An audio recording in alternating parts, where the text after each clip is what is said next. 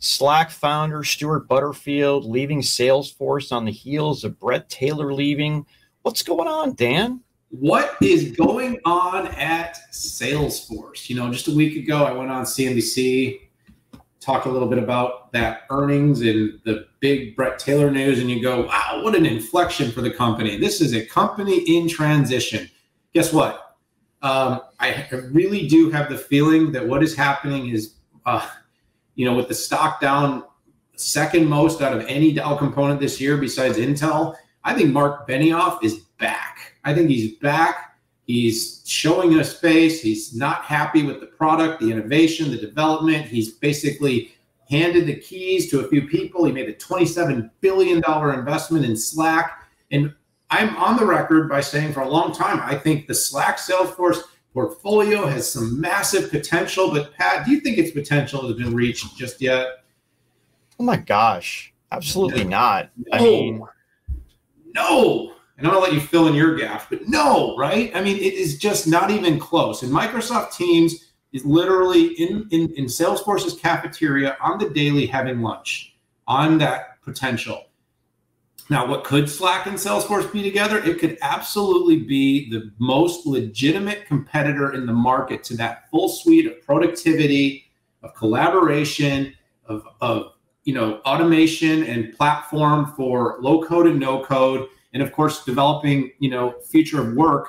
Uh, what Mark Benioff coined as the digital headquarters. Well, it hasn't happened yet. So you have Bret, who's been really focused on the Twitter deal, and you know it's hard to be the chairman of the board of a deal that's going on with Elon Musk that's taken up every headline. But unfortunately, when you are the CEO of the world's largest and one of the most exciting SaaS companies on the planet, you got to do that job before you can be a, a board member. Now, again, I know Mark Mark uh, Benioff went on air. He was very emotional, and I think I think those were real emotions. I think he really did want to see Bret succeed. I think he really wanted to see Keith Block succeed. I think he also really wanted to see Stewart Butterfield with Slack really help bring it forward. But for whatever reason, the parts and pieces that have been put into that organization just have not quite created this this ripe environment for innovation across all these acquisitions. Now, we were critical early on about the inorganic spend look, I like inorganic acquisitions and growth. I think inorganic is critical once you hit a certain point in a company,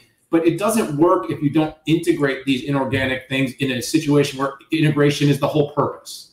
This isn't a roll up. This isn't a house of brands. This is a platform. This is an ecosystem where Salesforce needs all of its tools and technologies to be uni- unified. And by the way, not everything in Microsoft works together, but the story does.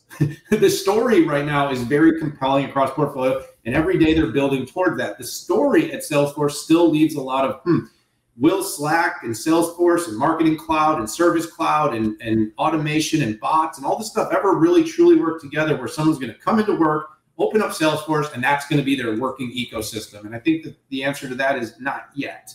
So um, Stewart's leaving, new CEO in uh.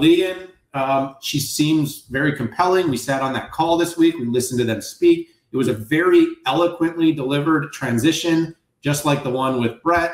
But don't mistake, there is some uncertainty going on at Salesforce. I think these new leaders, and I think with Mark back, look, Mark will always be the heart of Salesforce. Mark is Larry. You know, Mark is to Salesforce what Larry Ellison is to Oracle. And when things get tough, Mark is going to be the guy that's going to come back probably one or two more times over the next couple of decades He'll be 115 years old and he's going to come back and work. And when they need a new innovation, they need a new disruption, Mark will be their path. But uh, not the end of the world. I think they're going to push through this. It is a house of the full stack platform. And there are some companies who've had that full stack for a long time, like Microsoft and Google and there are companies who are actively building it, like Salesforce, that want to do it, trying to do it between a combination of, of inorganic and organic. Then you have even uh, companies like Zoom trying to do it uh, organically. It, it was going to happen through Five9, uh, but that didn't happen because the Zo, sorry, the um, stock cratered, um, and they had to back out. Now they're building everything. And with building stacks, you have to, like you like you inferred, you need to show incremental value to your customers that it uh, that it matters. And to do that, there's the technical side. There's the really honing in on the core value proposition of, of what that means. And then it means marketing and then getting your sellers to engage to make that happen. And, and I think, again, I have nobody inside that told me any of this, but what's your natural reaction if you're if you're founder uh, Benioff, right? You're going to raise the heat, uh, and there were some people who could have just said, "Listen, I'm I'm not up for that right now." And I think uh, even separating my intuition uh, and connecting that to uh, Stewart Butterfield and the conversation that you and I both had live uh, with him. I mean, he said, I'm tired. I'm 50. I have a new baby. Listen, I I appreciate the honesty. I get that. Okay. I'm older than Stewart. I, I get what it's like. Do you believe that? I believe that. Okay. And by the way, I think it connects perfectly with your thesis of of turning up the heat. And I got to tell you though, I appreciate him baring his soul. Um, with that though, the show must go on, and Lidiane Jones is coming in. I appreciated the kind words. I mean, I'm old enough to cut through the BS of executive happy talk and and reality. And Lydiana uh, really appreciates Stewart, and I think that's important, right? Because uh, when your executives trust each other or like each other at a, at a certain point, things are just smoother uh, in how in how uh, they act. I based on what they said, I have confidence in the future of the integration. I got a better idea of just how hard the integration has been when you uh, put a chat modality inside of multiple products in multiple countries and the impact to uh, uh, to the data. Um, I can't. Lidiane's words. Uh, check out the the link I put in the show notes to uh, Lidiane's uh, public uh, things that she talked about and see for yourself.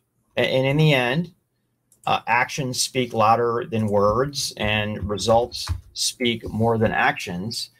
And we'll see what the company uh, we'll see what the company can do. And it is amazing. Sometimes the grand purifier, Daniel, one of those can be a recession.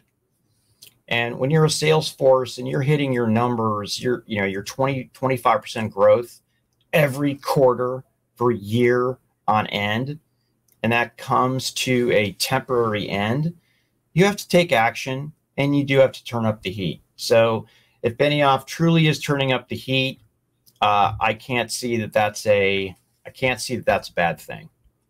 Yeah, no, Pat, you make a great point, and it's exactly like what we've said about some of these layoffs. You know, these companies kind of just we're growing, we're growing, we got a lot of staff, we got some extra costs, but we're growing, we're growing, we're growing. You know, the tunnel vision gets real. And all I'm saying, all of a sudden, when the stuff hits the fan, that lens opens up, and you're like, "Holy crud! How did we get so? You know, how did we get so over? You know, uh, staffed, and how do we get our expenses running through the roof? Well, as long as you're growing, you know, covers revenue. What do we always say, Pat? Revenue covers a lot of problems for companies. So this is an inflection point. But yeah, good, good, good analysis, Pat.